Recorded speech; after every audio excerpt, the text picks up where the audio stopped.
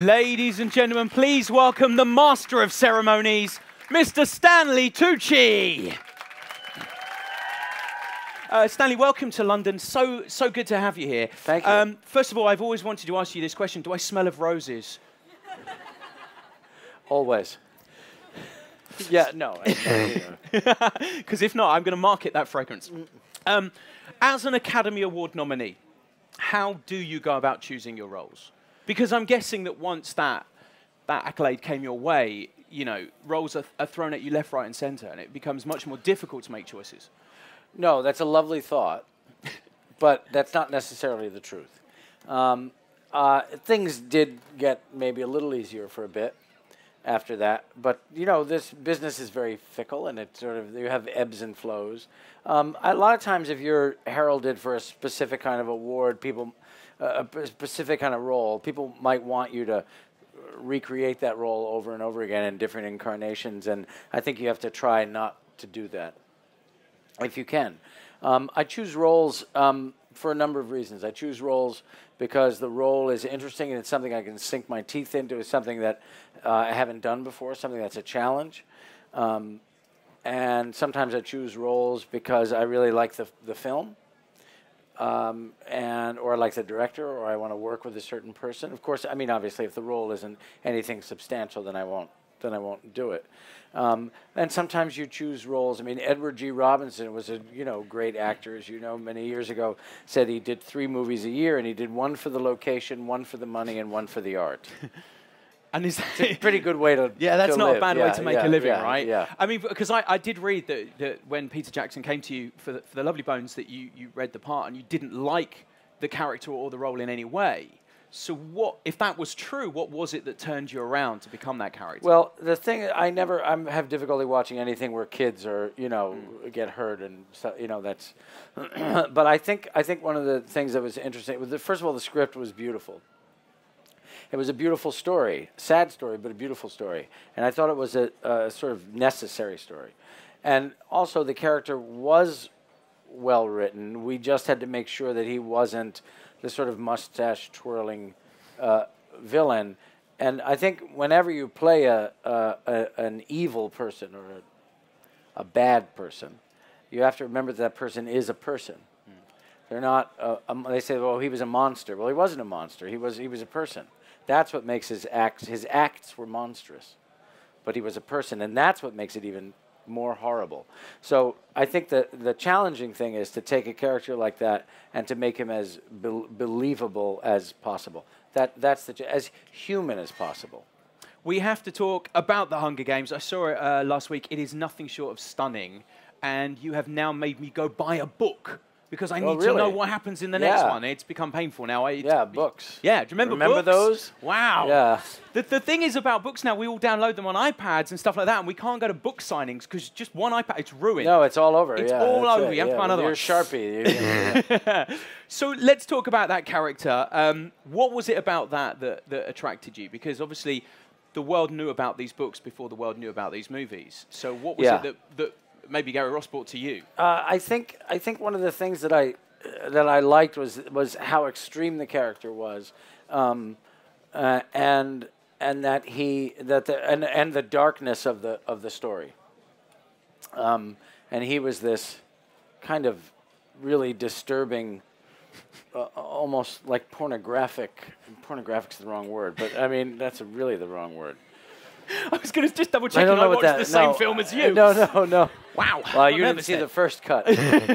uh, uh, it's just it, it's just extreme and, and, grotesque, and I kind of like that grotesque grotesquerie. grotesquerie is a slightly safer word. Than it's safer word, yeah. um, but I mean, do you kind of look at that role and go, "I get to"? The, the, I mean, the teeth. Let's be fair, incredible. The hair. Is that part of it? Do you love that whole an actor dressing up? That whole becoming something new? I love it. I, you know, I wanted to become an actor because I didn't want to spend my life as myself. You know, so I think that, and when you get to know me more, you'll know why. the the I, that I, character in the Lonely Bones, Lovely yeah, no, is a little bit too. Yeah, yeah, yeah. No, not that guy. Okay, no, I was nervous then. Um, I love all that stuff. I love that's one of the reasons that we act. It's you know, it's about it's about being playful. It's doing that thing that we used to do when we were kids. you know, you pretend you pretend you're somebody else. And what do you do to pretend you're somebody else?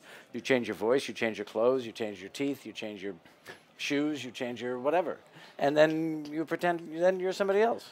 It's, what what's really scary is that I'm just the teeth away and a bit of hair dye from. I know. that. Yeah, I didn't, wanna- I didn't say it. No, I mean, it's, No, hey, I I, think didn't we're all say it. nervous by it, but You can actually, get there. You get he's there. like an idol now. Yeah. How much?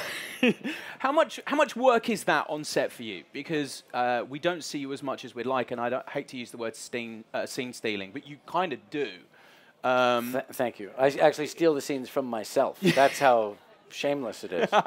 and Toby Jones. yeah, and Toby, oh, he's great. I wish there were more of him in the movie. He's he's great. It's almost like it should just you be you two like director's commentary. We should have you, you guys doing the DVD. For the DVD, yeah, That's that- what it that should would be. Funny, yeah. But I mean, how much how much work is that on set for you? Are you there for a, a couple of days? Are you there for a few months? Are you there for the duration? Uh, I'm there usually for about uh, five days. oh, really? mm-hmm. And was that the same for the for part one? Yeah, part one was about five days. This one was maybe a little less, I think. Uh, and the next one will be even less. Oh, really? Mm-hmm. Is that a spoiler? Yeah, I'm sad about it, really. A spoiler, and I'm sad. They're yeah. going to drop you into the Yeah, no, that's not No, going to no, happen. I. I started reading the new book. Um, so I mean, in terms of you get the script, are you are you kind of signed into these kind of franchise movies now? Do, is that something that when Well- you read the first one, you're like, I want to be part of this whole yeah, I, it to me it, it really it made sense because of also the number of days you work. It wasn't a, a huge it wasn't a huge commitment. Um, it was financially good and and it was a great role, but also it's at their discretion. So if you suddenly go, "Oh my God, I love this," they can very easily go on the next movie. Well, that's great, but you're not in it, you know. So that's the So way it works. you so know, it's you a- mentioned- just sort of double-sided, you know, double-sided coin. You know, you mentioned the three reasons to do a movie: the location, the fun. I think we know which one right. this was now. Uh, let's talk about your your relationship. with- Atlanta. Yeah. Good recovery, Yeah. Stanley. let's talk about um, working with people like Jennifer as well. Oh, she's great. She's great. They're all great. I mean, here's the thing. You know, um, the people like Jennifer and Josh and Liam. You know, they're these young people who are so self-assured and not arrogant and not pretentious, and they're, without affectation. They're just like really hardworking professional actors who, who, who are serious about what they do, but they don't take themselves seriously. They're, it's wonderful. I wish I could have been like that at their age. I'm sure you were. I mean, you've, you've, I mean, the amount of films you've been in, you go through that list. Weren't you both, uh, you and Jennifer, in Monk? Maybe not in the same episode, but I believe Oh, she did she do one? She did an episode of really? Monk. I think she was like a cheerleader or something. Does anyone know? Oh, Really? People are going like Monk. No. That lady over there is going. I don't know this Monk program of which you two old people talk about.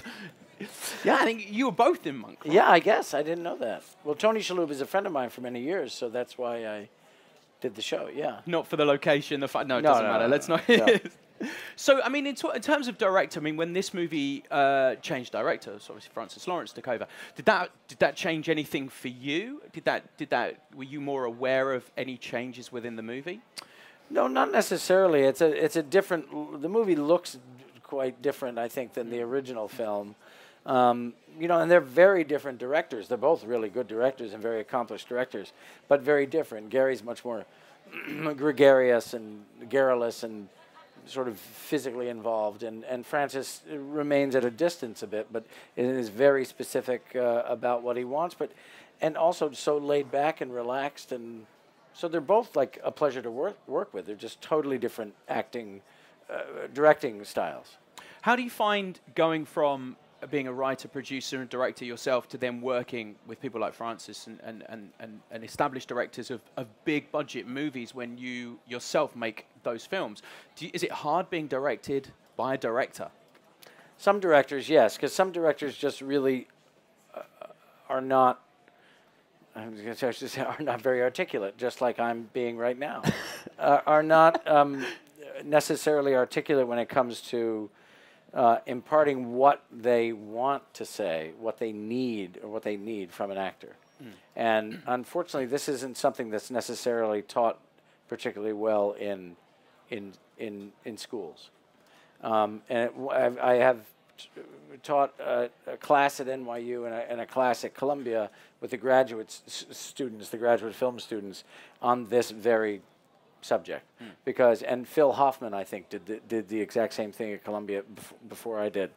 It's re- it's really really important um, because if you think about it, those are the primary those are the primary objects in your film. These living breathing things called people who are saying lines. So this is a huge part of the curriculum that's that's left out of um, film school, and and it needs it needs to be addressed. I mean, going back to then, in terms of the Hunger Games, are you given free reign, or, or do you know this character so well from doing the first movie that actually, you know, you, you know this character? Yeah, I know him, and? I know him, and, and Gary was very, very encouraging and and wanted uh, improvisation like crazy, and and Francis did not dissuade me from doing so. Um, so you each time you try to make it fresh, uh, and and you try to invent, but you don't want to invent just for the sake of inventing. You you want to invent in, in a way that each time you do it, you're taking it to, you're taking it to another level. You're you're making it richer and richer and richer. So if you don't want to kind of express with those lines, can you just stick to what was on the script? Yeah, you can stick, to, the what's on the script, sure. But Yeah, but then it's more fun to just play around. Yeah, I can bit, only imagine. I, Yeah. Like I say, I want to Yeah. see the outtakes. Yeah. Not the pornographic. Not the pornographic Not- ones. No, no. No. it's not going to happen, people. Um, so, in terms of in terms of you as a, as a director, is that the direction that you want to go in? Is that something? Is is the reason for many people sort of say the reason they they act and work on on bigger budget movies is to is to finance the smaller projects they want to be part of or want to create. Was that always something as a dream for you? Yeah, I mean, I, I started directing movies about mm, 15 years ago, and I've done four movies over the years.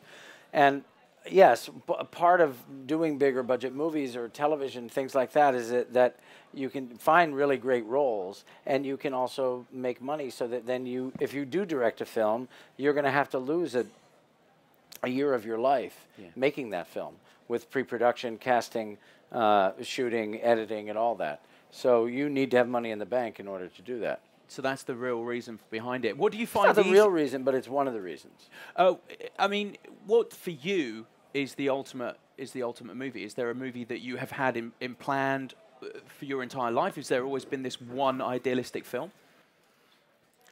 Um, I have a couple movies. Yeah, one in particular, maybe that I really like. A movie about Giacometti, the the artist, who lived um, in the uh, from the turn of the century to um, 1965, and and he was uh, probably one of the most interesting contemporary artists uh, of all time, one of the most important sculptors, and one of the most articulate men about the creative process. So I have a movie that I've written that I'd like to make about him, uh, hopefully in the next two years. It's a very small movie; it would cost almost almost nothing. Um, but there's that story. There are lots of stories I want to tell. Another book that I recently adapted called City of Women that takes place in Berlin during World War II. That's all about a, a, number of, of, of women who, who because Berlin was called the City of Women because so many men weren't there during the war. And they ran, they did everything. Uh, so that so that's the plan. Do you put that kind of five year, ten year plan down? You do your best to put together a plan, and in, but in the, as we know, in any business or in any life, you can't plan. You can do your you can do your best, and then you just kind of take it day by day.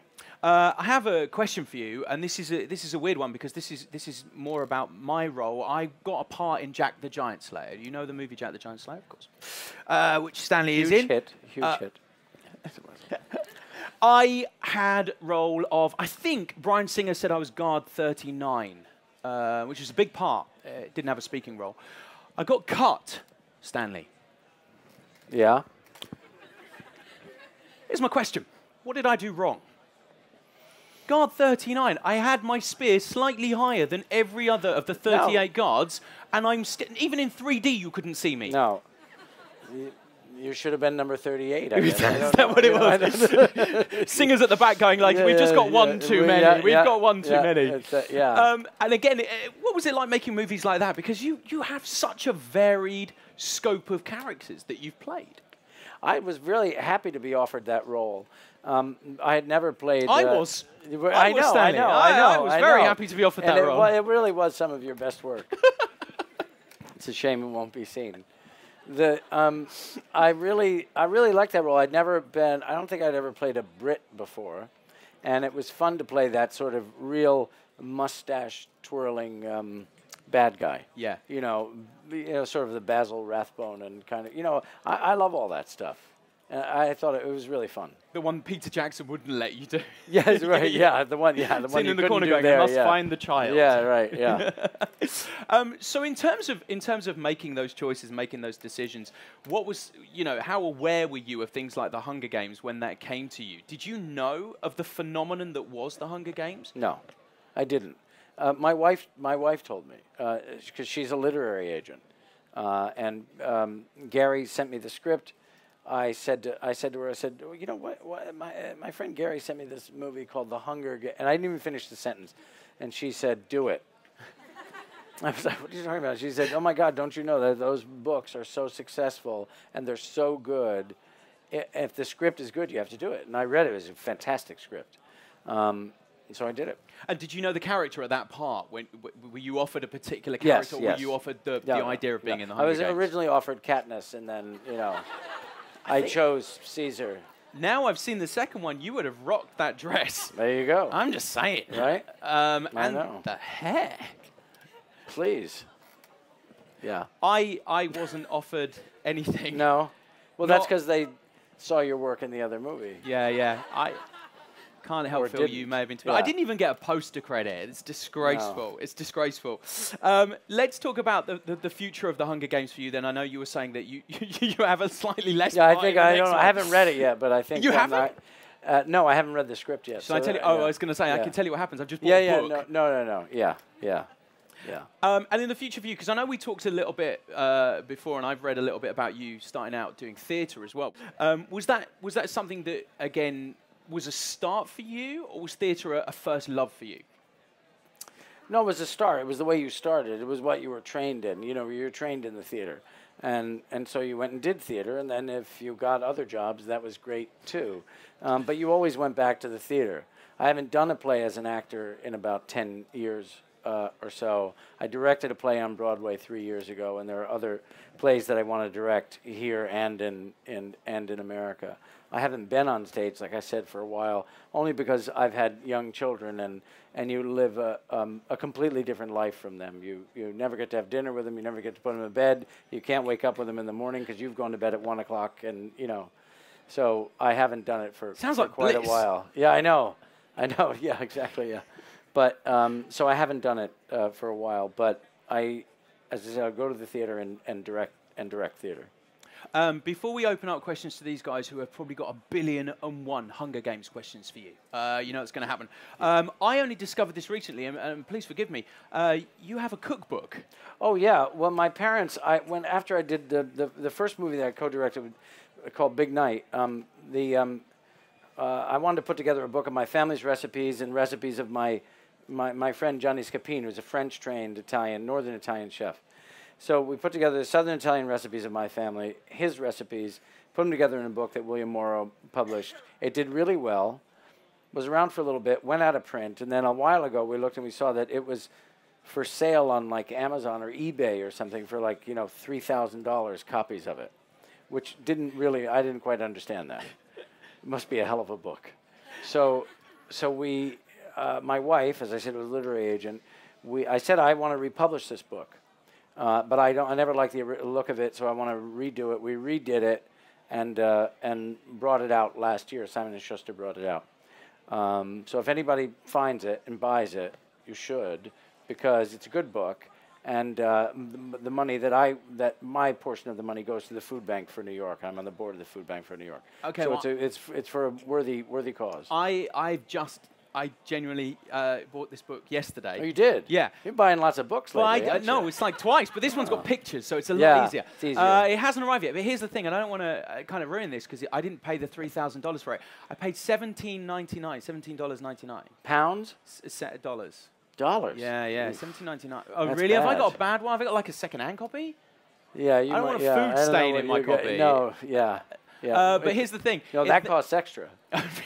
it then cost me thirty dollars to have it shipped Wait, we have it shipped where? to the UK. But they sell it here. There's a British Don't version. ruin it for me now. What There's is a, well, then you're going to have to take all the recipes and you're going to have to you know, Change the- convert them. yeah. I'll There's a. British version. You could have gotten it for like 20 pounds. I'll be honest, Stanley. I probably This won't be terrible. making the recipes. You're not really good at buying books, are No. Yeah. this is why I've never done it in my life. Can I read you a little quote? This is a quote, and I hope this I don't is know. genuinely true. uh, it depends I on hope what it this says. is so true. So this is this is Stanley, and, and, and this is a bit about your cooking, and this is uh, why apparently you fell in love with your wife. Okay, can I All read right. this? Yeah, all right. This is it. They apparently fell in love. Okay. Um, I fell in love with my wife after the light hit the carcass of the suckling pig as she ripped the flesh from its bare bones.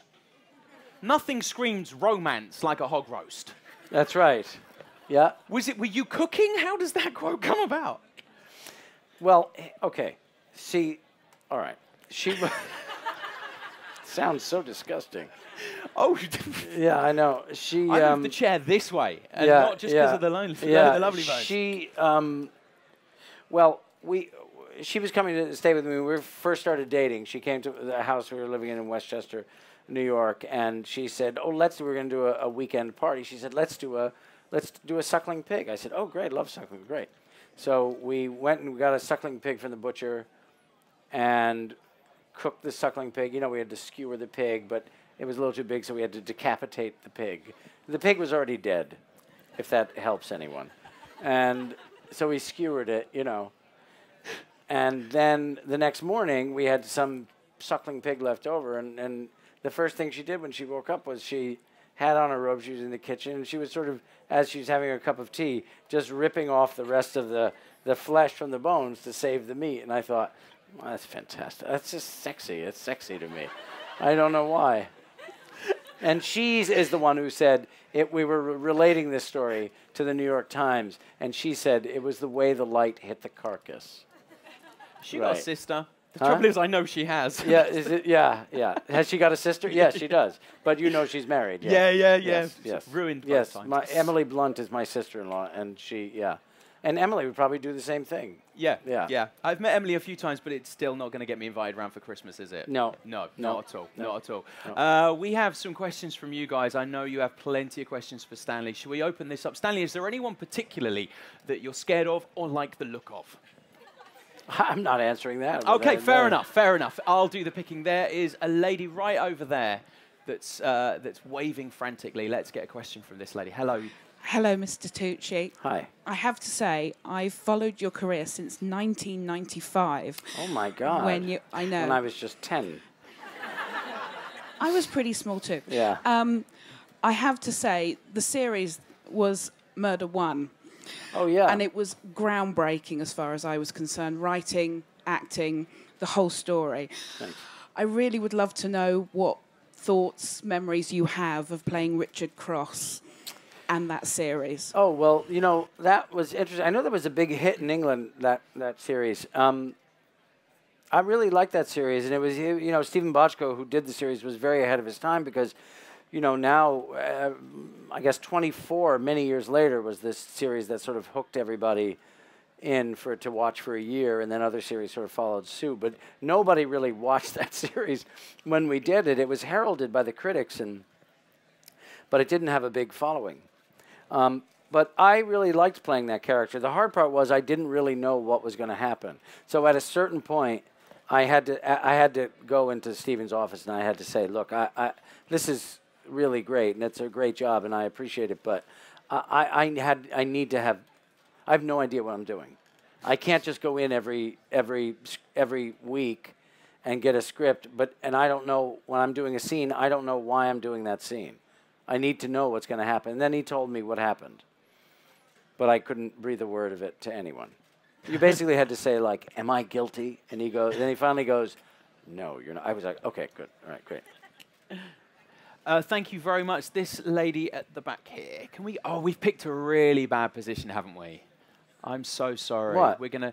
This lovely lady over here. There we go. Hello, Mrs. Tucci. Um, Hi. Hi. Uh, I'm actually a freshman at NYU, and Oh. at the orientation, they talked about how you taught a class, and it was one of the reasons why I decided to go to NYU. Oh, you're kidding. It was really just a couple of classes. I'm so sorry. You probably weren't even born when I taught. Were you taught it. expecting Stanley to still be there? I'm just, No, no. Oh, thank it's God. Just, Yeah. It's just the prestige of the school and everything. But um, so Um, do you ever take a part of the character with you, like when you're researching it? Do you, is there ever a part of the character that you're like, oh, okay, I want that to be like a part of my life? Do you ever take that like aspect with you after the job? No, I don't. Well, that's an interesting question. I think sometimes the character stays with you while you're doing the job, and a little bit after, maybe the an accent might stay with you, or certain behaviors, or something like that. but I think what you take away is the is the um, is the res- is what you've ta- what you take away from the research that you've done. If you really if you really had to do research for the character, do you know what I mean? If particularly if it's a historical character, you can learn you learn so much, and you get access to stuff that uh, maybe a lot of people wouldn't have access to, which is really kind of kind of great. Um, but I think I always believe that that acting is you know uh, that everybody has a multiple is a multiple personality that we all have all these people inside of us and actors just allow themselves uh, accessibility to access to the, to those characters. So i think what you've done is you've taken an aspect of your personality and you've given it and you've given it full bloom. And then you can go to it whenever whenever you choose to which is a really maybe good thing or a really disturbing thing. Who knows Do you ever call back on characters when you're when you're when you're in a, in a in a new performance when you have a new role? Is there any time you go back and think something that worked with a previous character I can bring that to this role, or do you try and do everything fresh and clean and start again? I think you try to do it fresh and clean and start again. Yeah.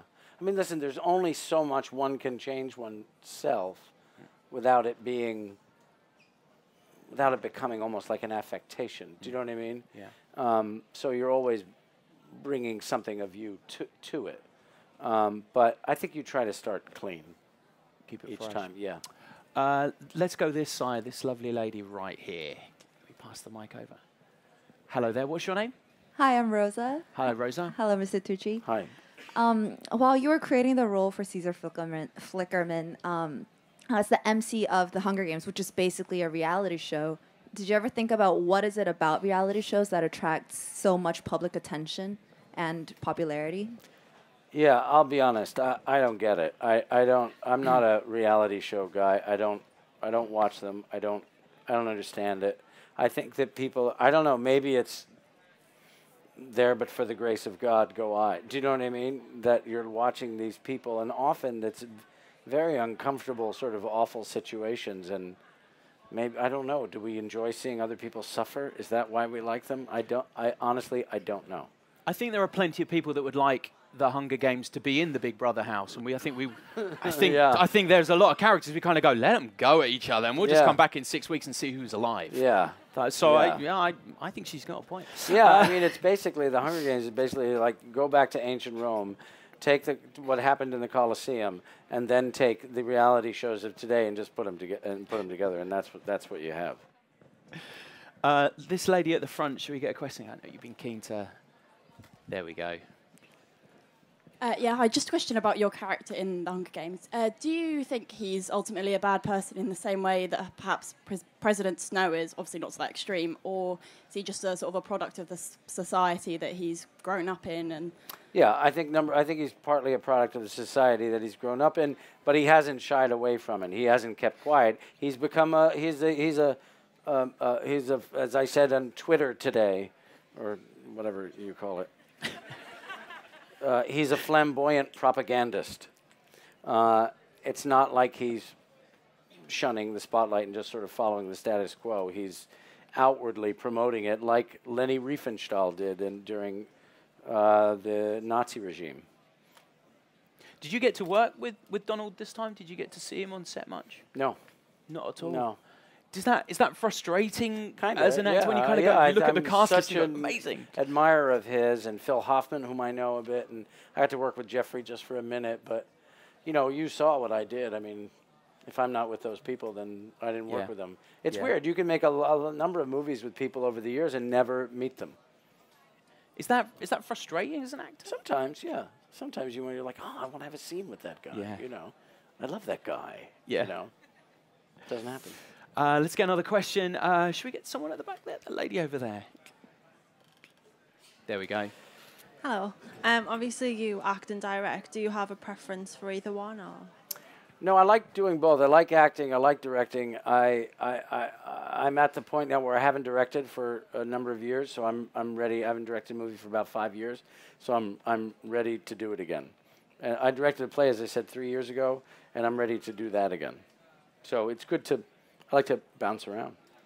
I have you- no attention span, so If you need guard 39, yeah, it's, right, worth, it's worth a try. yeah, maybe a whole Bryan Singer movie loved about about about Guard 39. Yeah, be a short short one, but it'd be, be a Gutted. good 3D. One, yeah. Putting the stick up twice know, high. Nothing. Nothing. You're still in it. Yeah. Uh, this lady at the back here. That's it. You there. Yeah, so don't worry. We'll bring a mic. To, there we go. There we go. Thank you very much. What's your question? uh, d- um, this may seem like a cliche question, but do you have a favorite role you've played so far? No, I don't really have a favorite. You know, I wish I had a favorite something. I don't have a favorite color or a favorite food or a favorite anything. I do have a favorite child of my three children. No, I don't. it's terrible, isn't it? Which one is it? Just out of curiosity, yeah, in case, uh, in case I I'll get the. Christmas invite. I'll, t- I'll tell you later. I'll Okay, tell you. fair enough. Yeah. Um, sometimes it is fun to just go up to one of them while the others are in earshot and just go, "You're my favorite." um, so, yeah, no, I don't, I don't, I don't. But I'll tell you, I, I, I really like playing this role a lot. Um, I liked playing um, uh, the fellow and the devil wears Prada. That was that was that was, that was really fun. I'm trying to think. There's a movie that I made many, many years ago that was a comedy that may, probably no one has seen called Undercover Blues. That was this extreme, sort of almost a farcical comedy, and that was really there was a character there that was fun. And in terms of movies, is is comedy is is the straighter roles? What what is it about the roles that you pick? Is there a particular genre, if you like, that you particularly want to go for? No, I like all genres. I, you know, to be able to do farce or to drama or comedy, you should be able to do all of them, and, and it's fun to do all of them. Again, a steady diet of, of just doing drama would be that would be so boring, or just doing the same sort of type of comedy all the time would be mm. boring. So it's nice to to shake it up. And the, and a- a lot more supporting roles than anything else. Is that something time wise that y- you choose to do that? Is it? Is no, it? it's just that nobody cast me in the lead. so I find that hard all. to believe. Well, it's true. I'm I know the feeling. Don't be upset, but it's all right. Uh, we have a question from this man right at the front here. Let's go and find it. Hi, thanks. Uh, just sort of following on from a previous question, um, with um, the role of uh, George Harvey um, in The Lovely Bones, so it's an amazing performance. Um, with a character like that, do you find um, that you're able to, to leave him on the set, or does that stay with you pretty much the whole movie? Can you sort of not sort of escape him, and you have to almost become him for the whole of the filming? You can't become him for the whole of the filming because you'd you'd commit suicide. It's just horrible. It's horrible. Um, I think that was one of the reasons. I knew that he didn't look like me. I hoped he didn't look like me. I, I I had a very specific idea of what, what he looked like, and we were able to to achieve that. Um, one, but once I stopped shooting, that I couldn't wait to get all that stuff off. You know, the wig, the makeup, the paunch that I added, the mustache, and all that stuff. Once it all came, I had to have this stuff on me and then strip it all off. So by the end of the day, I would look in the mirror and there was, there was me again.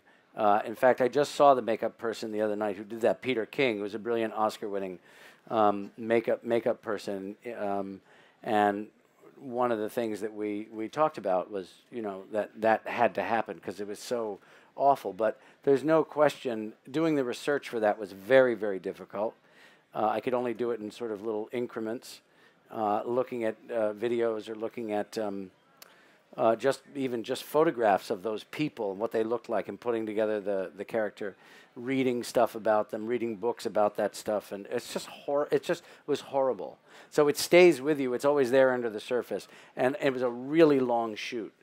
And I couldn't wait for it to be over. I was just thrilled for it to be over. Not that I didn't have a good time. Not that it wasn't. Peter was wonderful. They were all wonderful. But you, you don't want to. You don't want to be like that, and even if you're pretending to be like that. Do you have the ability to snap out of a character once they've cut or, or, or your scenes are over for the day? Can you go back to a trailer and, like you say, you remove the makeup and, and, and etc. Do you snap out of it immediately? Can you be back to Stanley again, or Yeah. or does that take time? Yeah, there, there, there's sometimes a little like, you know, a little transitional period. Like you have to go into like a, you know, People stay away yeah, from like the Stanley for a- airlock chamber. You know, like in between space and and the capsule. You know what I mean? You have that that decompression chamber. Decompressing It's like Stanley. that, and then you just make sure that you have a martini. No, I swear to God, in the makeup that- in the makeup trailer, and that helps a lot. That's fantastic. Uh, I think we have time for one more question. Let's get there. There's someone right at the back there waving really, really high. There we go. Uh, hello, Mr. Tucci. Uh, I'm sorry that I've actually heard of, first heard of you last year during the Hunger Games when you were part of that ensemble cast. You didn't know about me before that. I said I'm sorry again. It's Um, incredible. it's incredible. I swear Next. to you, when I get Had you heard of Guard 39? at all? no, to be honest, when I get home, I'm gonna start on the Lovely Bones on all your film filmography because you sound like a great guy and I feel you're a great actor. sir. Thank you. um, is there any act? My question is: Is there any actor you love to work with in the near future, and why? Oh God, there are so many that I want to work with. I want Miranda Richardson is a great friend of mine. I want to work with her. I I, I think I'm going to do this thing with Michael Gambon, whom I cannot wait to work with, and Sofie Gråbøl, who was in the original uh, Danish uh, series The Killing. Um, there are there are so many actors that I that I admire that that I would love to work with. Isabelle Huppert is somebody that I'd love to work with. Um, there are count, countless, countless actors. Thank you very much. I believe that's all we have time for. Ladies and gentlemen, if you will do me a favour and thank the legend that is Mr. Stanley Tucci. Sir, And may guard 39. May the odds be in your favour, Thank sir. you. Uh, Thank the you star all. of the Hunger Games. The movie's out on November the 22nd. It is nothing short of stunning. Ladies and gentlemen, Stanley Tucci. Thanks.